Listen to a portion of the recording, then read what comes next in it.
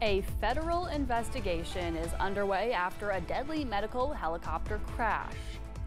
And we will take a look at how the federal government's hurricane response becomes a topic of debate between the presidential candidates. And we're seeing temperatures right now in the upper 60s and low 70s, but there's a cool down coming up somewhere. Details in a few minutes. Mountain News, first at 4, continues. The investigation into an air medical helicopter crash continues in northern Kentucky. We are learning more about what happened and the people who died. WYMT's Phil Pendleton tells us what investigators are doing at the scene as people remember the lives lost. The area behind several schools, a park, a restaurant, and multiple homes is where this tragedy unfolded just after 5:30 on Monday afternoon. And it's where the investigation is continuing to try to find out exactly how and why all of this happened. Our hearts definitely go out to the community, the family, and the friends.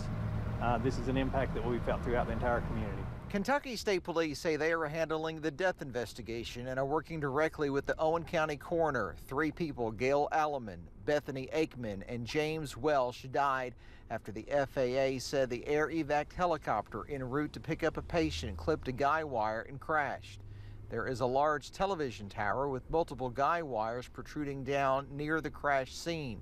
Paramedic James Welsh had previously worked in Lincoln County EMS director there says he was an exceptional paramedic, employee, and friend who in 2018 won the Above and Beyond and Paramedic of the Year awards. All three are being recognized for their work in working to save lives. And it's tragic knowing that they paid the ultimate sacrifice. Absolutely. So we're talking about uh, people that every day went out to help other people and were on their way to help other people to try to assist when this tragedy occurred. All three worked out of the Grant County area called Life Team 133. Kentucky Emergency Management is stating that they are sending out heartfelt condolences to the family of these three people, also thanking them for their dedicated service. In Owen County, Phil Pendleton, now back to you. We will update this story on WYMT.com when we get more information about the funeral plans and memorial services for the three victims. Governor Andy Beshear issued a statement today regarding the crash. It reads in part, quote, heartbreaking news last night out of Owen County. Please join Britainy and me in praying for the families, loved ones, and colleagues of those lost in this tragedy, end quote. Vice President Kamala Harris is continuing her media blitz in New York today, following her 60 Minutes interview that aired last night on CBS. With Election Day less than one month away, she and her opponent, former President Donald Trump, are sparring over the federal government's hurricane response. Michael George reports from New York. Vice President Kamala Harris sat down with the ladies of The View Tuesday. One of the, the issues that I'm very focused on is what we do around home health care. The appearance comes as a recent poll shows a quarter of registered voters say they still feel like they need to learn more about her. Last night, 60 Minutes pressed Harris on top campaign issues, including immigration. It's a long standing problem, and solutions are at hand. And from day one, literally, we have been offering solutions. But, but the numbers the, did quadruple. And the numbers your, today, because of what we have done, we have cut the flow of illegal immigration by half. With less than a month to Election Day, 25 states have already started early voting, with nearly 2 million ballots cast so far. We have to win this election. If we don't win this election, there's tremendous consequence for everything. Former President Donald Trump once again criticized the Biden administration's response to Hurricane Helene. The response has been very weak, unbelievably weak. Trump has falsely claimed at least 15 times that FEMA is diverting funds or only helping Democrats recover. Vice President Harris called out the misinformation Monday. It's extraordinarily irresponsible. More than a million registered voters in North Carolina, a key battleground state, live in disaster areas as a result of Helene.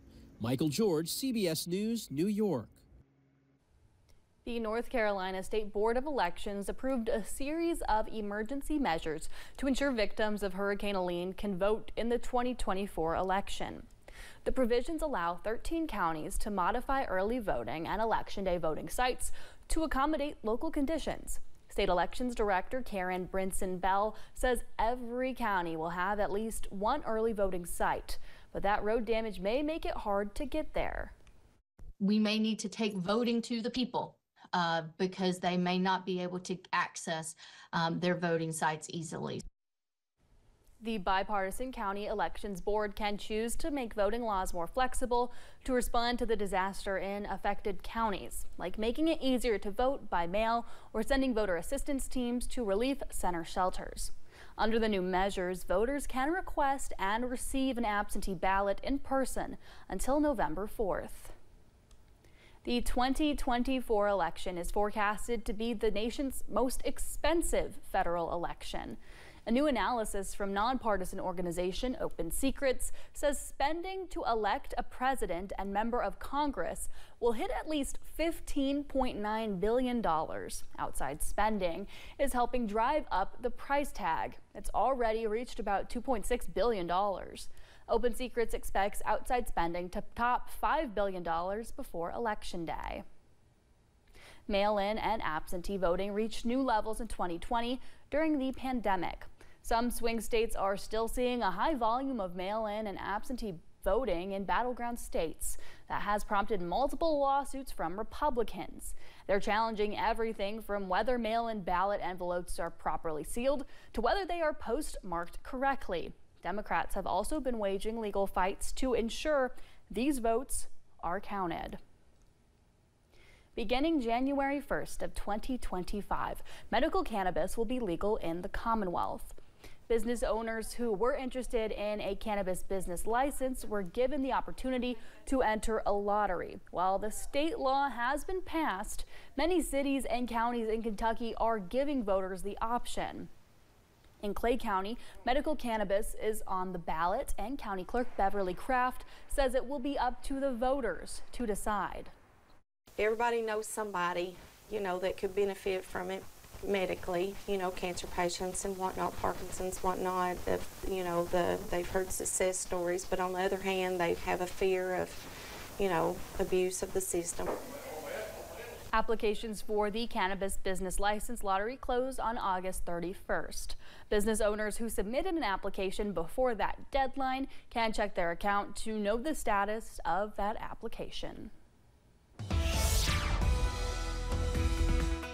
Had another picture perfect fall day across eastern Kentucky. Take a look here at the latest. With live pinpoint Doppler radar, we are seeing clear skies across all of eastern Kentucky, and this will get a nice break as we go throughout the next seven days. You can see right there on the Kentucky Mesonet site in Knott County, we're seeing plenty of sunshine. You can see if you look very close in the background, the leaves starting to change colors and we're seeing temperatures in the 60s and low 70s. We're at 70 in Prestonsburg, 74 in Manchester, 71 in Monticello, 60s from Logan down to Wise. If you have plans to grill out tonight, there's the grill cast.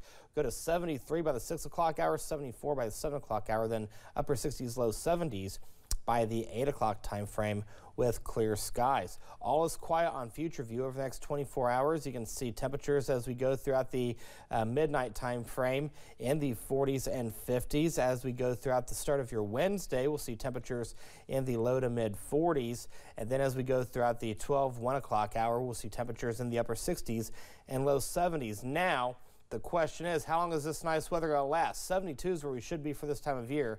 We're talking below normal temperatures on the high end. Find out how low we'll go in the first alert forecast in a few minutes. Amelia. Eric, thank you. Two of the five former Memphis police officers convicted in the deadly beating of Tyre Nichols are being released from jail.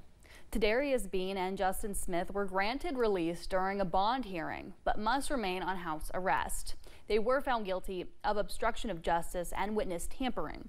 Demetrius Haley was found guilty on several charges, and his excessive force conviction presented more concerns for the court.